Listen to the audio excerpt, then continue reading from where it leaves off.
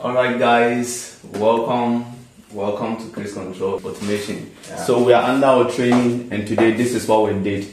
Uh, this is called three position selector switch, okay? So the this is called the off and this is a normal open. So depending on where you, you toggle these two, it will become a normal close, okay? So if you push this down here, this will become a normal close for the remote to push it up here to become a normal control for the local position. So we're going to operate an induction motor in the both local and remote position. So let's go to the practical and see how it works. Okay. So the selector switch, as you can see, is in its off position. Okay, it's neither toggle to here or there. So this is for the local and this is for the remote. So my friend here, Gordon, is going to turn into the local and we'll operate and see how it works. All right. So all right. Mm-hmm. Okay. So, so you can see that. So we are operating in the local, and that means that you can operate at the remote because it's already set on the local. Yeah.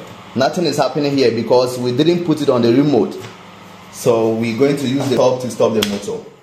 Okay? Until we toggle this to the remote, you can operate it at the remote. You see that it's not working. So Gordon, you turn it onto the remote. Alright. Alright. So go ahead. Awesome. This how it works. And that means that you can also on it from here because we have access uh, to operate in the remote. Okay, we can operate in the local position. So you can it cannot work here until this is set to um, the local. So that's how it works. And this is the project of today. And this is really awesome. We're having fun here. Alright, so now we're going to stop the motor. Okay, so we're going to turn this back in the off position. Now that the selector switch is in the off position, you can neither start it at the remote or at the uh, local. You can start in either places. Neither of them can be started until you set this on either the local or the remote. Yeah. That's how it works. Okay. As my brother already explained a lot of things here, and this Chris control automation thing, draw and build.